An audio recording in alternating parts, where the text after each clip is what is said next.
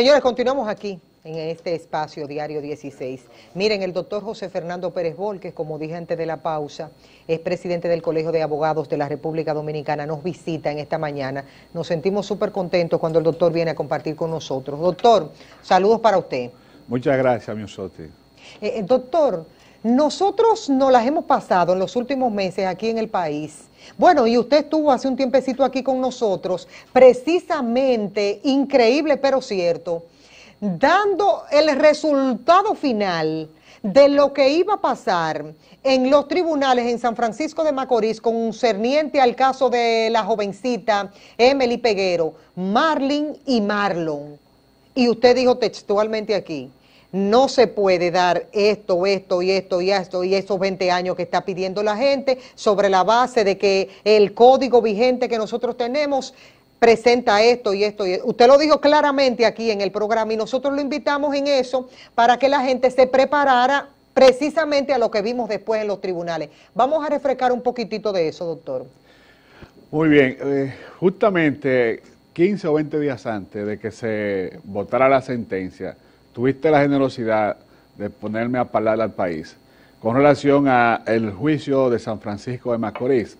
Y para aquella ocasión nosotros expresábamos que el Tribunal de San Francisco iba a decidir conforme a las pruebas que le aportaba el Ministerio Público y en este caso, el, además del Ministerio Público, el actor civil o querellante. Y decíamos que los jueces de la República no condenan ni producen absolución, que la condena y la absolución es el resultado o el producido de las pruebas, que son las pruebas las que producen condena. Que era una obligación del órgano acusador, Ministerio Público y actores civiles, presentar pruebas. Y que si no había prueba, el tribunal tenía que eh, dar sentencia en esa dirección. Y que si había prueba, había que dar sentencia en esa dirección. También decíamos que se hacía difícil probar el tema de la complicidad y justamente eso generó y destapó ciertas expresiones, ciertas alarmas sociales de que el tribunal debió condenar a la señora eh, eh, Marlin. Marlin a 20 años, que la sentencia es mala y por ahí María se va. El Procurador General de la República dijo que apelaría la sentencia con relación a Marlin, pero con relación a Marlon o a su hijo, la sentencia fue correcta porque fue de 30 años y ellos probaron que hubo acto de tortura, que hubo acto de barbarie, que hubo un, que hubo un, aborto y que hubo un homicidio. Ellos probaron eso.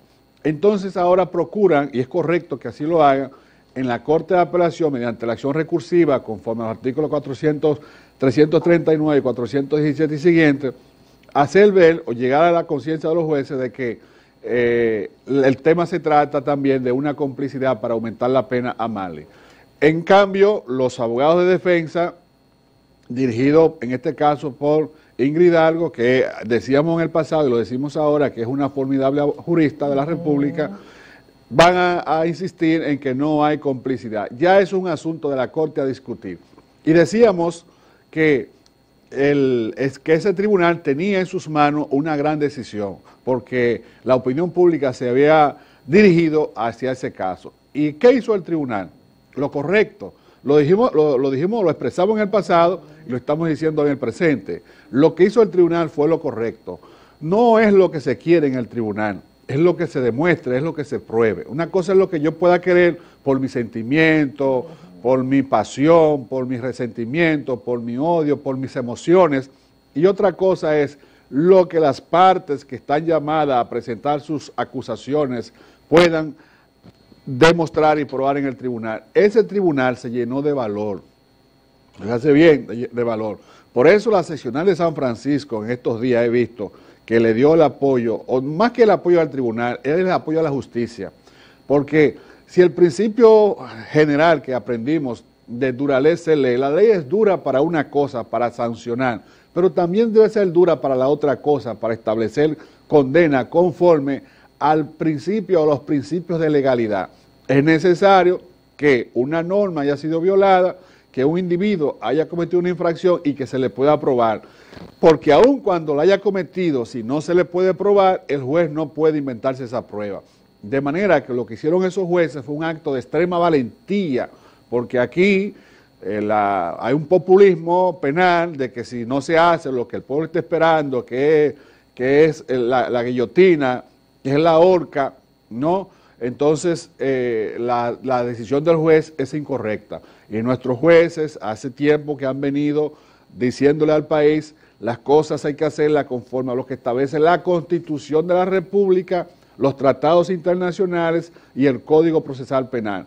Si ustedes no me traen que yo soy un tercero imparcial, que no conozco el conflicto, que no estuve en el conflicto, que no tengo interés en el conflicto y que no quiero el conflicto, pero que tengo que decidir el conflicto, si ustedes no me traen las condignas pruebas, yo no me las puedo inventar. De manera que eh, quiero reconocer la, la interesa, la disposición y la entrega, la paciencia de esos honorables jueces que nos dijeron una vez más que las cosas hay que hacerlas conforme a lo que establece la ley, la norma, los tratados y la constitución de la República. Nosotros decíamos que no se iba a dar una sentencia a Marlin de más de cinco años, lo dijimos aquí, sí. Eh, antes de, nosotros lo dijimos aquí, y el tribunal eh, así, lo, así lo dispuso, porque el fiscal en ese momento no pudo probar la complicidad, que era la pena inmediatamente inferior de la, del autor principal. El código, el artículo 59, 60 y 61 del Código Penal establece que en materia criminal la pena del, es la, del cómplice es la inmediatamente inferior del autor principal. De manera que si una persona es condenada a 30 años, la pena inmediatamente inferior de 30 años es de 3 a 20 años. Y, y ellos querían 20 años solicitaron 20 años, pero... Eso, lo, eso lo dice el actual código. El actual código. pero no pudieron probar que Marlin tuviera una participación concomitante, que tuviera una participación que facilitó los medios para la, para la ejecución de esos actos, sino que ella entra en escena en esos eventos después de. Entonces, ahí entonces el tribunal eh, no pudo, no tenía forma de retener el tema de la complicidad. Eh, eh, doctor, quiero entonces ahora en esta parte del programa, ya entrando de lleno a nuestro tema, lo que pasó en el caso de Marlin y lo que realmente para lo cual le dictaron esos cinco años. En el, en el proyecto del nuevo Código Penal, en el que tenemos nosotros ahí, de ser aprobado, esos hechos por los cuales se le está acusando, ¿se revertiría en qué cantidad de años? Mire, la ley que se aprobó y que luego no se votó por un asunto de un solo artículo, el artículo 110, la ley, la ley 550 de 2014, el nuevo Código Penal, porque hay que decir, nosotros, que es inconcebible que la República tenga un ordenamiento jurídico, una ley que tiene más de 100 años, más de 150 años. Eso es inaceptable que el país se esté dándose el lujo. Es inaceptable que nuestros legisladores, que son, personas honestas y trabajadoras, no hayan decidido actualizar y adecuar un instrumento jurídico que ha venido en vetusto, en antiquísimo, en anticuado, y en, y en un instrumento que ya pasó su tiempo. Entonces, ese instrumento, este, este nuevo código, solo por un artículo, el artículo del aborto y las tres causales, no se aprobó el código. Solo por uno, o sea, que pudimos, o ellos pudieron, dejar ese artículo por una ley especial y adecuar ese código que tiene tantos años. En el actual código, ¿qué pasa? ¿Qué diferencia tiene? El actual código es totalmente diferente y tiene que ser así al código de Lamperier, al código penal de Napoleón Bonaparte. En el actual código, el homicidio, las penas son de 10 a 30 años. De 10 a 30. A 30 años. Eh, ahora es, la pena del homicidio es de 3 a 20 años. Eh, en el actual código es de 10 a 20 años. Ok, en, el, en el actual código de 10 a 20. Sí. Y, en el... no, en el actual código de 3 el homicidio se castigará de 3 a 20 años. De 3 a 20. Sí, en el actual código el homicidio se va a castigar de 3, de, de 10, de 10 a 30 años. A 30 años. O sea, aumenta de forma considerable la sanción. Entonces, el, eh, entre un grupo de infracciones nuevas que tiene el nuevo código, como el tema de, del feminicidio, del sicariato, que no tenemos en la legislación actual, en, la, eh, legislación actual no tenemos lo del sicariato. No, no, ni el feminicidio tampoco. Ni el feminicidio tampoco. Tampoco, eso no existe. Ay, ¿por qué eh, tenemos casos de gente sentenciada eh, a 20, a 30 años? Por homicidio, pero no por feminicidio, sino que lo castigan por, por homicidio. Por homicidio. Si no se distingue, sino que mató el que voluntariamente mata a otro, se hace reo de, de, homicidio. Indistintamente que sea un hombre, que sea una mujer, o que sea un niño, lo que sea. En el feminicidio tiene que ser una mujer. O sea, y la pena es de, de 30 a 40 años. De 30 a 40, que mate una mujer es para el nuevo código. De 30 a 40. Ustedes escucharon hombres dominicanos bueno, de cualquier parte del mundo que se está dando ya. El nuevo código establece, aumenta las sanciones conforme a la... De 30 y 40. Correcto, conforme a la, a la magnitud de los eventos de los años. Entonces, la complicidad en el nuevo código, en caso de que se pruebe, con, que el fiscal probará muchas complicidades porque se van a dar muchos eventos donde hay personas que ayudan a la comisión de actos delictuales. La pena será entonces de 10 a 30 años de prisión. De 10 a 30 años. De, 10, correctamente. para, lo, para lo que tiene que ver complicidad. Complicidad. Se aumenta. Usted cooperó con otro en un asesinato o lo trasladó y implica todo eso. Que si yo lo trasladé en mi vehículo y todo ese tipo de cosas. Todo. Este código que, tiene mucho del código español, porque el código que nosotros queremos votarnos eh, brevó de forma muy sustancial del código español como la constitución nuestra, la dominicana también, brevó de la constitución española del 78. Si nosotros leemos la constitución española del 78 y si leemos la constitución nuestra, tenemos, nosotros acudimos al derecho internacional y nos asistimos de la constitución española y en este caso nos estaríamos asistiendo, que no es malo eso, de la, del código eh, español, del código penal español. Sí. Eh, una preguntita, doctor. Eh, yo no sabía, yo no sabía que había una diferencia entre homicidio y asesinato. Son cosas distintas. El homicidio de dos personas que pelean, uno mata al otro, eso es homicidio voluntario. El asesinato requiere de otras condiciones y otras características. Es la persona que acecha, que premedita y ejecuta. En este hay un nivel de perversión mayor, porque dos personas por una discusión, por un pleito, pueden pelear porque no fueron capaces de entenderse en diferencia y generar una reyerta y producir un deceso. Pero un tipo que se ponga a acechar a alguien, que por aquí va a pasar esta persona que cobró, que lleva un dinero o que en el, en el pasado me dio un golpe, que es mi enemigo, yo sé por dónde va a pasar, me espero que pase, me busco las, los, los instrumentos idóneos para provocar la muerte, la pistola, el cuchillo, el palo, y lo mato, en este ciudadano, segundo, hay mayor nivel de perversión, hay mayor nivel de maldad. Entonces, Por eso se eh, eh, llama, el homicidio es un, el homicidio, el asesinato es un homicidio pero con agravantes. Con agravantes. se acompaña de la premeditación y de la acechanza. Por eso se llama asesinato, porque el homicidio se castiga de 3 a 20 años y el asesinato se castiga con 30 años de prisión. Entonces, eh, eh, en el código actual, ¿el homicidio con cuántos años? De 3 a 20. De 3 a 20. Y el asesinato con 30 años. Con 30 años. En el nuevo código el asesinato se va a castigar con 40 años. Con 40 años. Otra cosa importante que tiene el nuevo código es que permite, va a permitir el concierto ideal de infracciones, que la República Dominicana lo tiene, pero que no lo puede castigar, que es aquel individuo que entra a una casa, que un mismo evento, en un mismo acto, realiza diferentes eventos. Entra a una casa, viola, viola roba y mata. Hay tres, hay tres eventos en un acto, hay tres eventos. Entró, violó y mató. La legislación nuestra no establece el cúmulo de penas.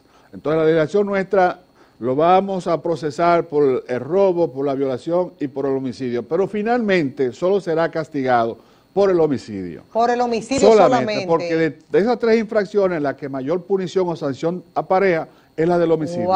En el actual código le vamos a juzgar por el robo, le vamos a juzgar por la violación, y le vamos a juzgar por el homicidio. Y entonces con una calculadora, entonces el, juez y el fiscal va a decir, el fiscal va a pedir tantos años y el juez va a imponer tantos años. Pudiendo una persona ser condenada en la República Dominicana a 60 años de prisión, a 60 años de prisión. O sea, hay actos tan graves, tan, tan, tan reprochables, tan abominables, bueno, que se requiere también una respuesta eh, eficiente, rápida y, y, enérgica del Estado frente a esos ciudadanos.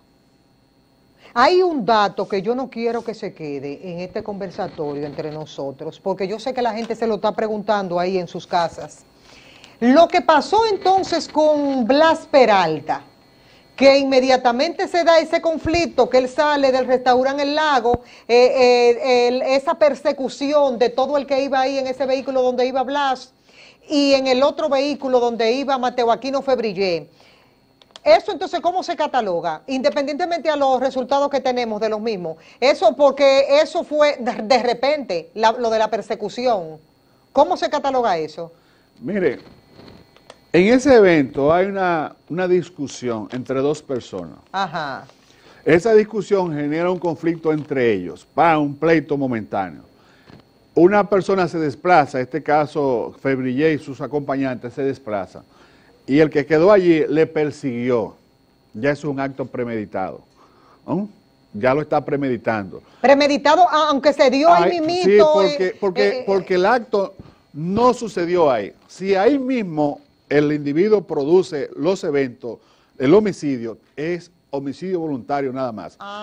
Y si produce el evento... Eh, para ir por parte, doctor, entonces ese homicidio involuntario hubiese sido con una pena de cuánto? Voluntario, de 3 a 20 años. De 3 a 20. Si se produce ahí, porque si Juan y Pedro pelean y Juan mata a Pedro, es homicidio voluntario ahí, pero si Juan y Pedro pelean y Pedro se va y Juan le cae atrás, ya hay un acto reflexivo, lo está persiguiendo. Ok, que ahí cae en asesinato. Ahí lo está asesinando correctamente, porque ahí hay una reflexión, hay una premeditación, lo está siguiendo hasta alcanzarlo y matarlo. Porque ya el que se ha ido no representa ningún peligro para él.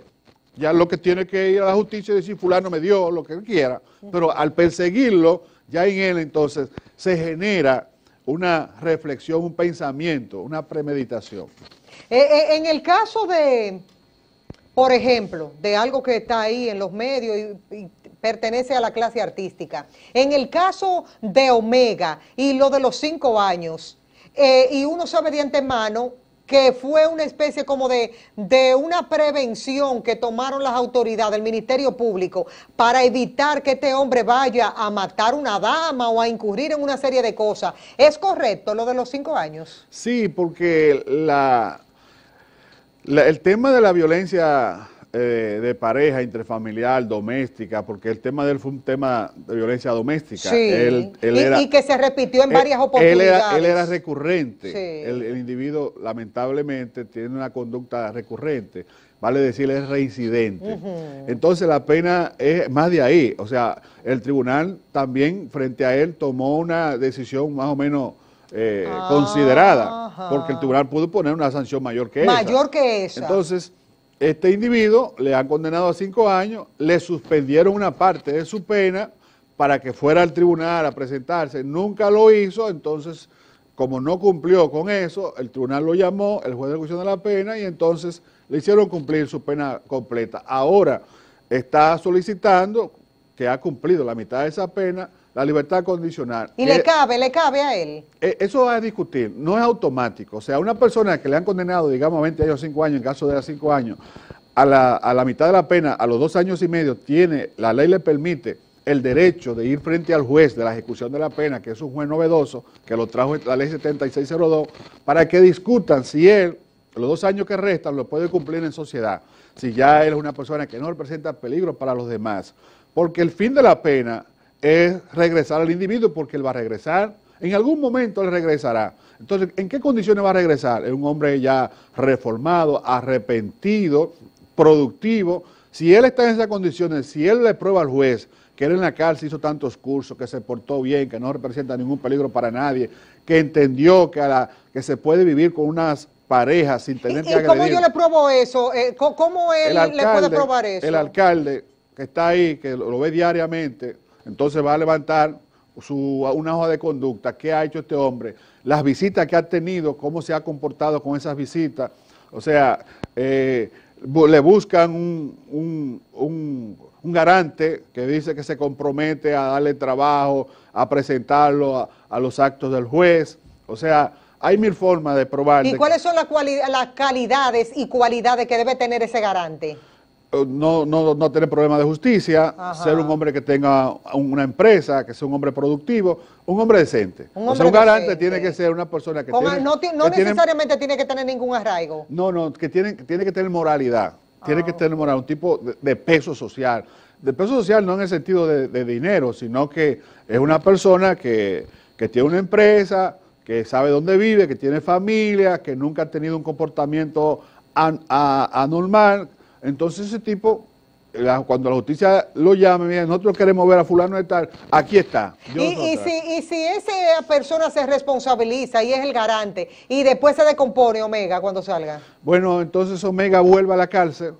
¿Y, el garante tiene alguna sanción? El garante no tiene ninguna sanción, porque los, los, las sanciones penales todas son personales. Aquí no, el que no cumplió fue el garante, el que no cumplió fue Omega, porque el garante cumplió lo que él se, lo que él se prometió. ¿A qué se prometió? A darle trabajo, a darle seguimiento. Entonces el gobernante hizo eso y le informó al juez lo que estaba haciendo. Entonces el que no cumplió o el que no cumpliría sería el beneficiado, que en este caso sería el interno. Eh, eh, eh, doctor, ¿qué pasaría si se tarda mucho más este proceso de la aprobación ya de manera formal del de, el nuevo Código Penal? Los jueces seguir haciendo lo que están haciendo por el principio de legalidad, porque los jueces no se pueden inventar más nada. Seguir imponiendo sanciones que a la sociedad no le gustan, pero es lo que dice la norma. Entonces, los legisladores eh, estarían dándose cuenta que por un asunto de no entendimiento, no comprensión, están permitiendo que ciudadanos que merecen sanciones mayores por sus actos ofensivos, entonces eh, están siendo no liberados porque son condenados, pero no son condenados con la, la, energía que con la sanción que la sanción que merece. Entonces, la sociedad va a solicitar al Congreso de la República que nosotros lo votamos. Yo voté por ello. O sea, yo voté por mi senador, por mi diputado, por mi lado, por mi presidente. Yo voté por mis, mis, mis autoridades para que me representen y para que me defiendan. Para que me defiendan. Porque cuando se vota un instrumento jurídico me están defendiendo porque el código es persuasivo. El código es, fulano, si tú haces esto, te corresponde esto. Si tú, una gente que tú no conoces, que tú en tu vida nunca has visto, que tiene su familia, su mujer, su esposa y sus hijos, tú vas y lo matas, esa persona no representa ningún peligro para ti. La, pena tuya son 40 años, fulano. O sea, ahora ese tipo, la pena de ese son 30 años. O sea, el sicariato, que tampoco está en el Código Penal actual. De manera que se va a producir una conciencia colectiva social eh, y vamos a solicitarle a nuestros honorables legisladores que ya no hay espacio para más seguir esperando que se vote un código actualizado.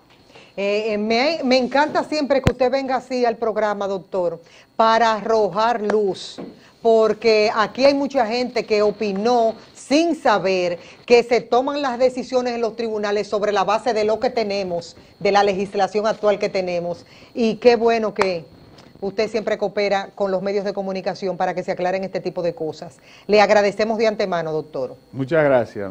Señores, cuídense mucho. Feliz día, espero que todas estas informaciones les sirvan de mucho. Y mañana temprano estaremos aquí de nuevo con otra entrega de Diario 16.